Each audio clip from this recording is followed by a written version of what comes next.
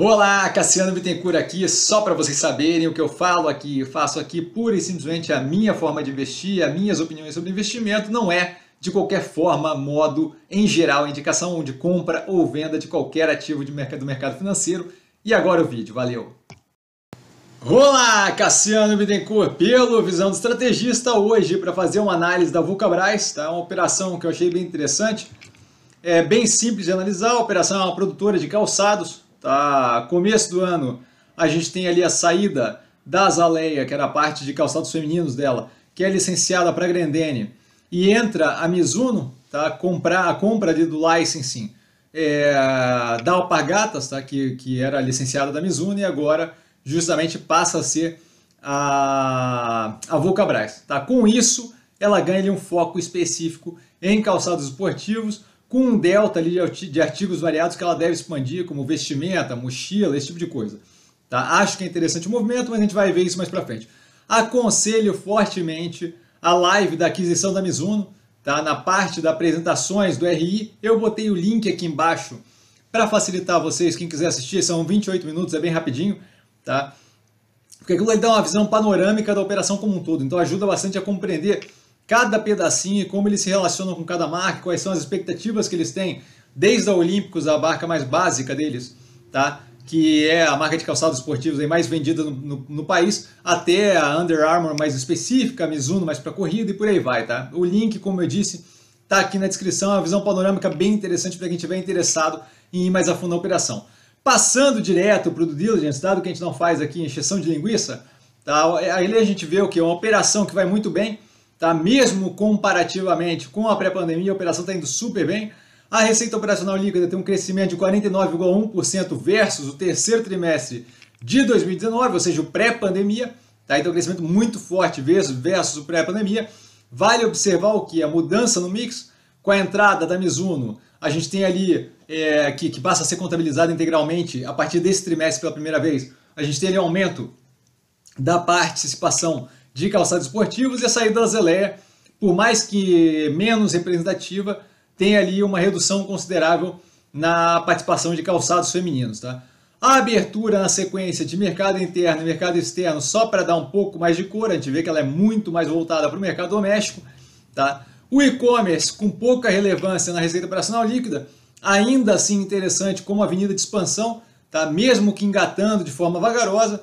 A abertura de uma diretoria de vestuário deve ajudar não só para expandir a abrangência de produtos, mas também para dado que a ideia deles é dar foco justamente no digital para essa, essa venda de vestuários. Tá? Então isso daí deve trazer não só a inteligência de mercado, é, entendendo melhor o cliente, como eventualmente ser uma, uma, uma vertente ali de expansão das operações para novos produtos e por um novo canal. Tá? A margem bruta saudável é melhor que no pré-pandemia, o que é bem positivo, especialmente considerando o aumento de custo de matéria-prima que a gente viu recentemente, tá? em tudo quanto é setor, inclusive nesse. Tá? As despesas com vendas e propaganda em níveis muito bons, isso daí quando pensando em proporção da receita operacional líquida, como sempre, né, para ter algum nível de comparabilidade, tá? são equiparáveis ou melhores do que o pré-pandemia, o que mostra justamente é, a capacidade de manutenção, pelo menos, barra melhoria da eficiência operacional da, da, da empresa, tá? DNA, despesas gerais administrativas na mesma atuada, melhoria versus o terceiro trimestre de 2020 e versus o terceiro trimestre de 2019, como sempre pensando versus a como proporção da receita operacional líquida, tá? O EBITDA fica em 102,4 milhões, desconsiderando os não recorrentes, não vou ficar considerando ganho tributário porque não faz sentido. A margem vai de 17,3% para 19,1% no terceiro trimestre de 2021. Vale lembrar que no pré-pandemia a gente estava com a margem de 18% no terceiro trimestre de 2019. Tá?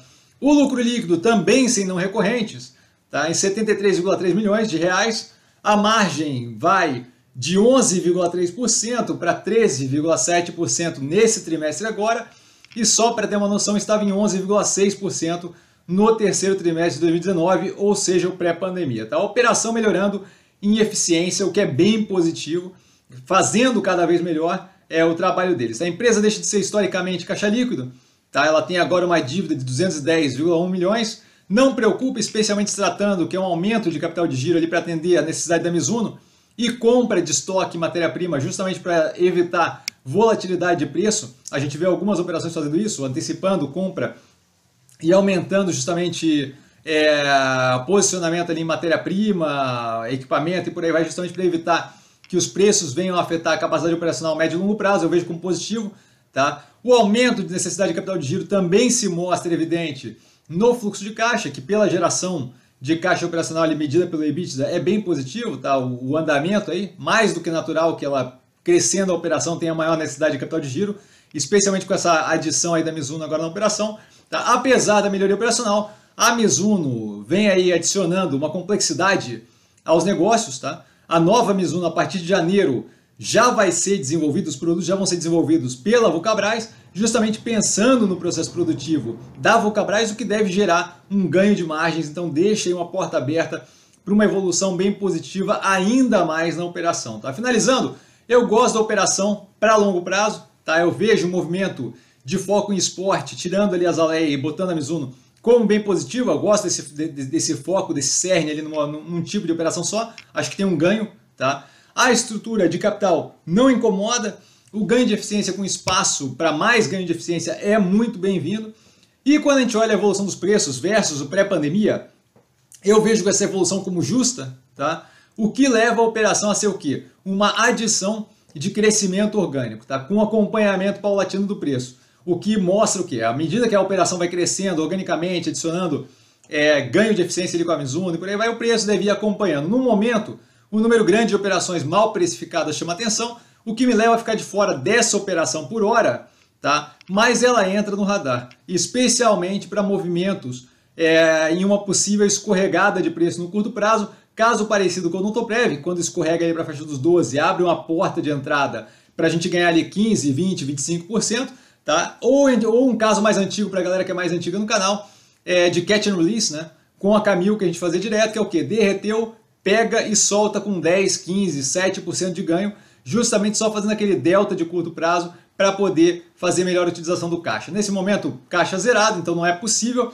mas essa é uma possibilidade que eu vejo e que entra justamente a Vulcabras no radar para esse tipo de operação. Tá? Dúvida? Eu estou sempre no Instagram, arroba investir com sim. Não trago a pessoa amada, mas estou sempre lá tirando dúvida. E vale lembrar, quem aprende a pensar o bolso opera com mero detalhe. Um grande abraço a todo mundo e até amanhã com mais uma análise. Valeu, galera!